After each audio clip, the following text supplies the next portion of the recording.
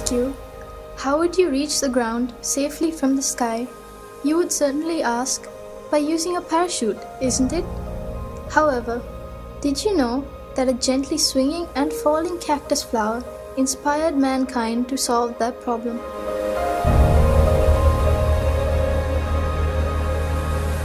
Comparing the products that have contributed to the developing the field of technology, nature's products, such as plants and creatures, are significantly advanced in their own aspects.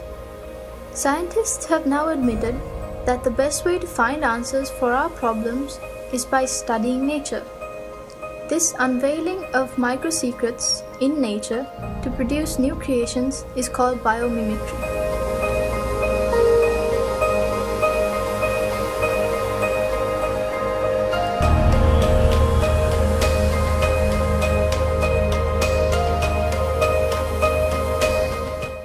Example, take the sky. An aeroplane that can fly higher than a bird is just like a giant student of a tiny bird teacher. Designers have utilized the shapes of the body, head, chest, and the unique shape of wings of birds to design aircrafts. Although an aeroplane can fly higher, it cannot remain stationary in the sky. When people question nature as to how this was, the answer came from the dragonfly. People identified the motion of the dragonfly's wings helps it to stay in one place, and they blended that secret to the helicopter. Taking one step ahead, the newest aim of scientists in Florida University is to study the flight of insects to develop an aircraft smaller than 6 inches, which can be used in warfare.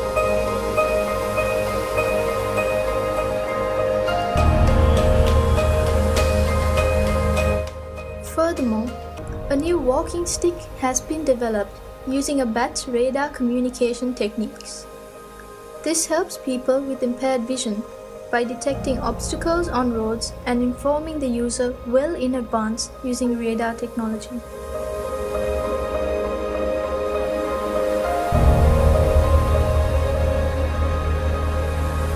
Velcro tape is one of the oldest examples of biomimicry.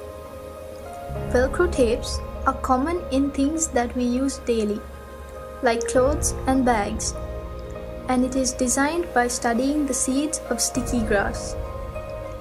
Though people see these seeds as a nuisance, Mr. George Mestral founded a business worth millions in 1951 simply by observing the seeds clinging to his dog's fur.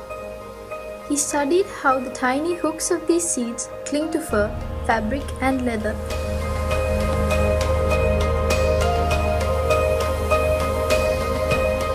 Japanese scientists studied the ability of butterflies to change the color of their wings and developed surfaces similar to them. It is another amazing creation of nanotechnology. It is not simply a painted surface, but one which is capable of changing colors by manipulating the direction of light reflection. Though not yet seen in our country, you may have come across it in the media. The high speed electric trains or bullet train that are commonly used in countries such as China and Japan. During the era of development of these trains, the greatest trouble engineers faced was the tremendous noise generated by the compression of air while passing through the tunnels. Can you believe that the engineers found the solution by observing kingfisher. The unique shape of its beak allows it to move quietly through the air as well as the water to hunt fish.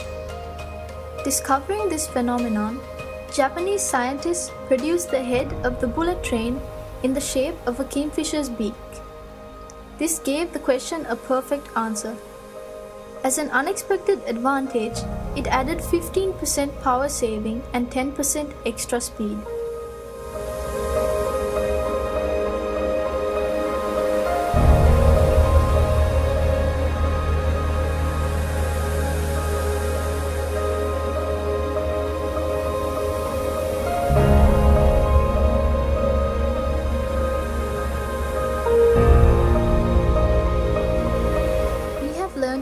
Interesting lessons from the dwarf termite.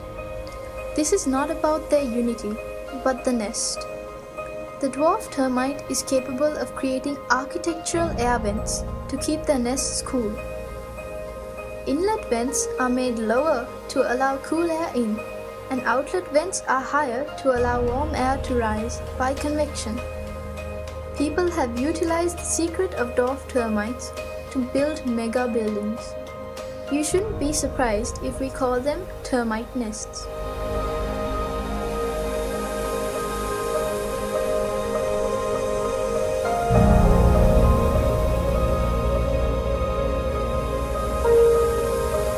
There are many things to learn from the behavior of small insects such as cockroaches. Famous scientists study them due to the possibility of developing technological concepts using these studies. The glass sponge is a creature that lives in deep seas and is made of a combination of weak chemical components but has a strong skeleton.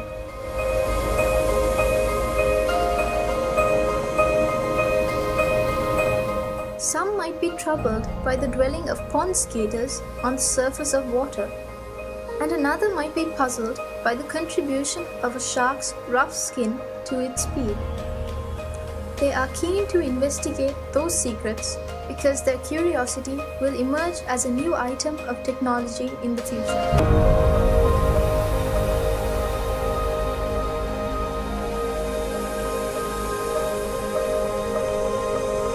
These few examples out of thousands of biomimicry applications have been brought to your attention because you too are capable of contributing valuable ideas to developing the field of technology.